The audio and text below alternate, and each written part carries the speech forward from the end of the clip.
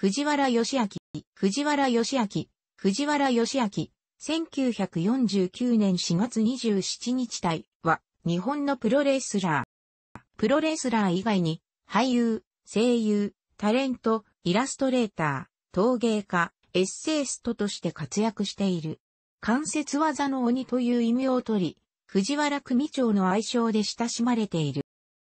後にイラストレーターとして活動することもあったが、小学校時代は絵が嫌いであり、絵の授業を担当する教師がこうしろああしろというのが嫌だったというのを2017年に行われた画家の五北聡との対談で明かしており、学校の美術担当の教員に関しては絵描きになり、損ねた奴らばっかりなんだから、そんなことを言うあれじゃないんだよと批判している。岩手県立黒沢市立工業高等学校時代、体育と応用力学、機械工作の表情は5であり、非常に器用であった。体育は高1の時は3であったが、16歳から始めた自己流のトレーニングの成果が出たため高で4、高3で5と少しずつ高くなった。高校卒業後、サラリーマンや板前を行っていた。サラリーマン時代は、プレイボーイや平凡パンチなどを読んで、面白いと思ったページを破いて、それを見て、絵を描いていた。1972年11月2日に23歳で新日本プロレスに入門。そして入門の10日後である同月12日に和歌山県白浜町坂田会館にて藤波辰巳相手にデビュー戦を行う。新人時代からカール・ゴッチに指示して関節技をはじめとするレスリングの技術を学ぶ。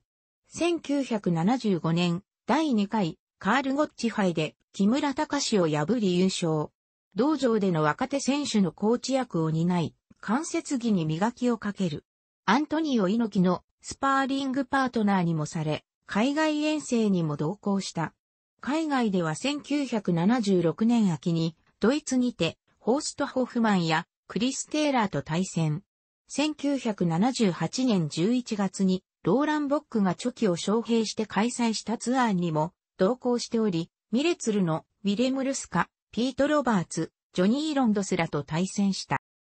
1978年には MSG シリーズの第1回大会に出場、予選トーナメント1回戦でマーティン・ジョーンズを下すも、2回戦でチーフ・ジェイ・ストロンボーに敗退、敗者復活戦でもバロン・シクルナに敗れて、決勝リーグ進出は果たせなかった。1979年の第2回大会においても、カネックに連敗して予選ブロックで姿を消している。初期の用心棒的な存在として、セメントの強さには定評があったものの、華やかさに欠ける藤原は、前座レスラーのポジションから脱することはできなかった。しかし、1984年2月3日の札幌中島体育センター大会において、長州寺からをタイトルマッチ直前の花道で襲撃、テロリストとして一躍脚光を浴びる。長州襲撃は、初期の指示で行われたとされる。以降、長州寺から率いる維新軍団との構想でなくてはならない存在になる、テレビ朝日のワールドプロレスリングにも毎回登場するようになり、独特の人相やファイトスタイルも相まって一躍知名度が上がった。同年6月に第一次ワフに参加。持ち前の関節技のテクニックを披露し、関節技の藤原 VS キックのスーパータイガー、佐山聡の試合は、今までのプロレスになかった、リアリティある名勝負となり、プロレスマスコミのバックアップもあり、後派のファンの注目を集める。新日本復帰、第2次ワフ参加を経て、1991年3月に、プロフェッショナルレスリング、藤原組を旗揚げしたが、1993年に、パンクラス、1995年に格闘探偵団、バトラーツが分裂するという二度に及ぶレスラーの大量離脱を経て団体としての機能を失った。以後はフリーランスとして選手活動を続けている。1993年、1994年と2年連続で古巣新日本の真夏の祭典 G1 クライマックスに出場。1995年には猪木ファイナルカウントダウン第4弾で、死、チョキとシングル対決した。1996年、ドン、荒川と共に全日本プロレスに初参戦、6人タッグながら、ジャイアント馬場との対戦が実現。1997年には王に出場し、天竜源一郎やアブドーラザ・ブッチャーとのシングルマックが行われた。その後もメジャー、インディ問わず、数多くの団体に参戦している。その技術を見込まれ、男女問わず指導を請う後輩レスラーも多い。指導者としては、指導を受けるレスラーに苦しい思いをさせることで、その辛さから逃れるために楽をすること、つまり、テクニックを身につけるように促す。テクニックを覚え始めた、そこから段階を踏んで、教えた後でいけるなと思ったら、格下とスパーリングさせ、そこで、技が面白いように決まったらコーチの仕事は90%終わりであるという考えの持ち主である。ゼロワンではフリーとしての参戦ながら、橋本真也のタッグパートナーや若手選手の指導員としても貢献した。2007年、胃の糞門部、入り口付近に4センチ台の胃がんが見つかり、胃の2分の1を切除した。手術は3時間で終了したが、痛み止めの存在を知らず地獄の痛みに苦しむ。その後の病理検査でリンパ節転移が見つかったことを知らされ、病気は3 A 期と確定した。3期の5年生存率は41.8%であった。術後18日目に抗がん剤治療が始まった。TS-1、一般名テガフールギメラシルオデラシルカリウムの単剤で4週間服用、2週間休薬を1クールとし、それを6クール行うというものだった。TS-1 は、胃がんの場合、走行率は46%と高く、副作用も抗がん剤の中では比較的強くないとされるが、87%の患者に何らかの副作用が出るのことだが、TS-1 を予定通り、6クール続けた後、薬が同じ後 FU 系の蛍光抗がん剤、アフと一般名テガフールウラシルの少量投与に変わり、副作用もほとんどなくなり、筋力トレーニングができるようになった。手術の後遺症としては、ダンピング症候群、食物が胃にとどまらずに、急速に腸まで落ちてしまうこと。胃の中で攪拌され、少しずつ腸に送り出されていた食物が、移設除後は、未消化のまま一度に腸に流れ込むため、血糖値の変動や各種ホルモン分泌などによって、不快な諸症状が起こるが出たが、プロレスの試合に出られるまで回復した。現在も不定期ながら、リアルジャパンプロレス、ドラディションなどのリングに上がっている。イグフにも参加し初期に協力している。近年では新日本プロレスのレッスルキングダムにおけるニュージャパンランボに2年連続で出場している。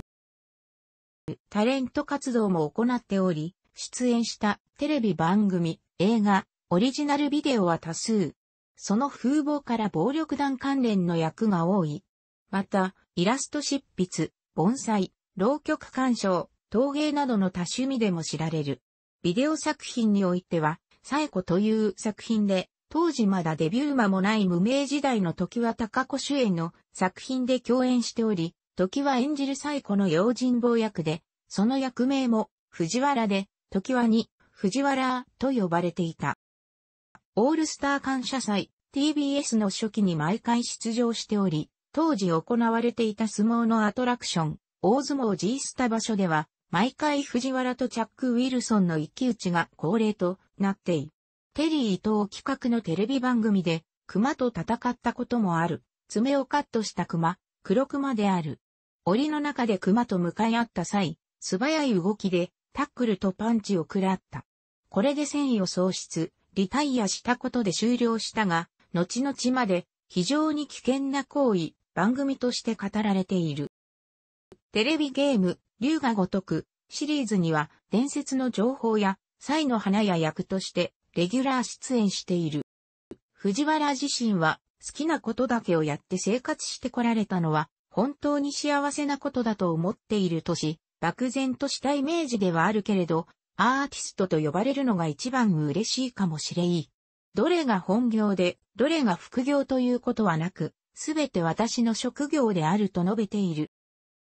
近年は総合格闘家や柔術家などにグラップリングを教えており、海外からの招聘も受けている。藤原をはじめ新日本プロレスの選手たちがカール・ゴッチより指導されていたのは、ゴッチ自身がビリー・ライレージムで学んだキャッチアズキャッチキャンであり、その技術が日本で生き延び今また注目されるという90年代におけるブラジリアン柔術のような様相となっている。総合格闘技黎明期、専門誌に対し、自分はあんな馬乗りになって人を殴るなんてできないと否定的なコメントをしていたが、後年は自分はテイクダウンがうまくないので試合に出ても難しいと思いますよと客観的な意見も述べている。学校法人日本医科学総合学院の理事長を務めていた。同学校法人は文部科学省認可の専修学校朋友柔道整復専門学校を運営している。使う技すべてが得意技という藤原だが、代表的な技を挙げると以下のようになる。最近では海外からの関節技講師の依頼も多く、2006年には米国に2回、2008には米国、サンフランシスコで関節技を主とするレスリングセミナーを行った。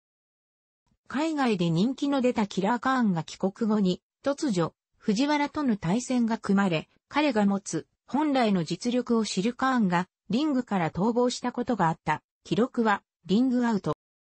楽しくご覧になりましたら、購読と良いです。クリックしてください。